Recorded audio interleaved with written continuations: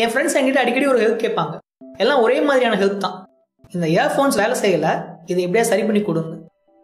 இது ரொம்ப சிம்பிளான ஒரு விஷயம் தான் உங்ககிட்ட இந்த மாதிரி நிறைய இயர்ஃபோன்ஸ் வேலை செய்யாமல் இருக்கலாம். எடுத்து வைங்க. இப்போ சரி பண்ணலாம்.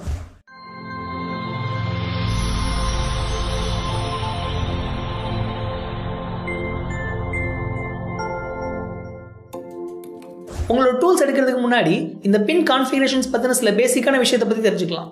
உங்கள்ட்ட இருக்கிற இயர்ஃபோன்ஸுக்கு டிஆர்எஸ் அல்லது டிஆர்ஆர்எஸ்ன்னு ஏதாவது ஒரு பின் கான்ஃபிகரேஷன் இருக்கலாம். இந்த டிஆர்எஸ் கான்ஃபிகரேஷனை பொறுத்த வரைக்கும் ரெண்டாவதாக இருக்கிற ரிங் போல் இருக்காது.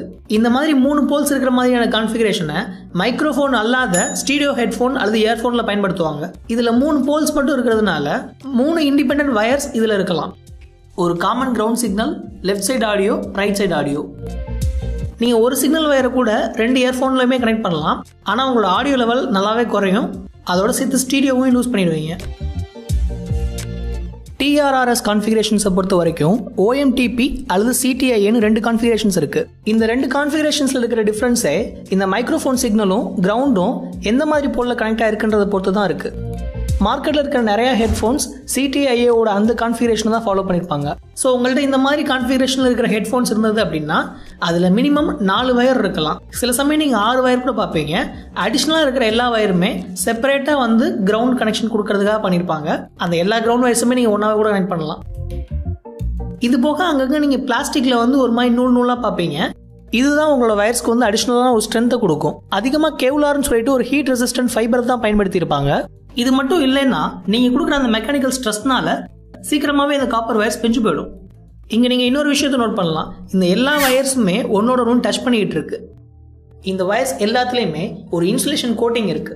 நீங்கள் ஒரு பிளேடை வச்சோ இல்லை ஃபியூ மில்லிமீட்டர்ஸ்க்கு வந்து இதை ஃப்ளேமில் காட்டியோ இந்த கோட்டிங்கை ரிமூவ் பண்ணிக்கலாம்.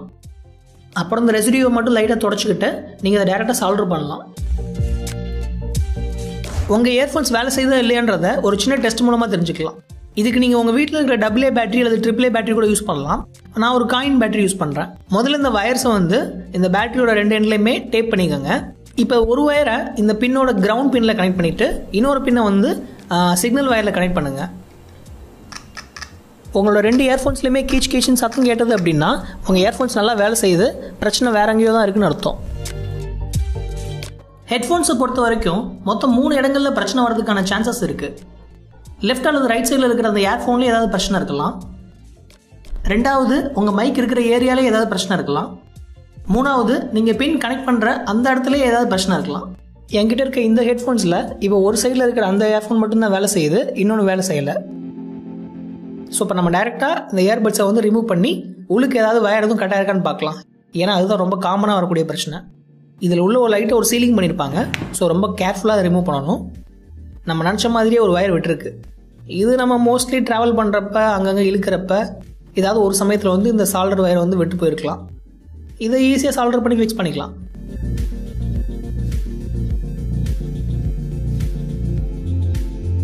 என்னோட இன்னொரு இயர்ஃபோன்ஸில் பேட்டரி வச்சு டெஸ்ட் பண்ணுறப்ப ரெண்டு இயர்ஃபோன்ஸ்லையுமே சவுண்டு கேட்கல பிரச்சனை இந்த கனெக்டரில் இருக்கிறதுக்கான சான்ஸ் நிறையா இருக்குது ஸோ இந்த ஹவுசிங்கை மட்டும் நம்ம லைட்டாக கட் பண்ணி ரிமூவ் பண்ணலாம். இந்த வயர்ஸ்க்கு இடையில வந்து ஏதாவது கண்டினியூட்டி மிஸ் ஆகிருக்கிறதுக்கான வாய்ப்பும் இருக்குது இந்த வயர்ஸை சால்டர் பண்ணிட்டு ஒரு இன்சுலேஷன் டேப் வச்சு கூட இதை ரேப் பண்ணிக்கலாம். ஆனால் பார்க்க நல்லா இருக்காது. அதனால் நான் ஒரு ஹீட் ஸ்ட்ரிங் டியூபை பயன்படுத்த போகிறேன்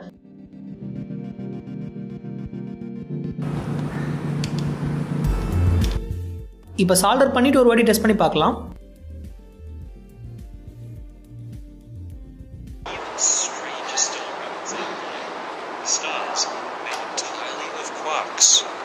ரெண்டு இயர்ஃபோன்ஸ்மே இப்போ நல்லா வேலை செய்யுது. இப்போ இந்த ஹீட் ஸ்ட்ரிங் டியூப்பை லைட்டாக ஃப்ளேமில் காட்டினா இது நல்லா ஃபிக்ஸ் ஆகிக்கும்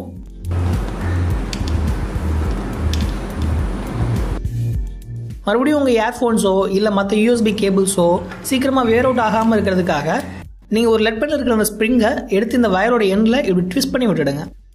ஸோ இதனால் ஃபியூச்சரில் நீங்கள் ப்ராப்பராக ஹேண்டில் பண்ணலனா கூட டேமேஜ் ஆகிறதுக்கான வாய்ப்பு ரொம்ப கம்மியாக இருக்கும். இப்போ நம்ம இன்னொரு ஹீட் ஸ்ட்ரிங் டியூப் இதுக்கு மேலே போட்டுட்டு இன்னொரு வாட்டி ஃப்ளேமில் அதை காமிச்சிடலாம். இது என்னோட ஐடியா கிடையாது. இந்த கான்செப்ட் ரொம்ப காலமாக இருக்கிறதுனால இதுக்கு யாருக்கு கிரெடிட்ஸ் கொடுக்குறதுன்னு தெரியல. எனிவேஸ் மறுபடியும் இந்த பின் டேமேஜ் ஆகிறதுக்கான வாய்ப்பு கொஞ்சம் கம்மி தான் ஃபைன் அடுத்து நீங்கள் ஒரு மைக்ரோஃபோன் உங்கள் ஸ்மார்ட் ஃபோனில் கனெக்ட் பண்ணுறதுக்காக வாங்கியிருந்தீங்கன்னா அது உங்கள் கம்ப்யூட்டரில் கனெக்ட் பண்ணுறப்ப வேலை செஞ்சிருக்காது. இப்போ அதை எப்படி சரி பண்ணுறதுன்றதை அடுத்த வீடியோவில் பார்க்கலாம். இந்த வீடியோ பார்த்துக்கு ரொம்ப தேங்க்ஸ் சி யூ கேன்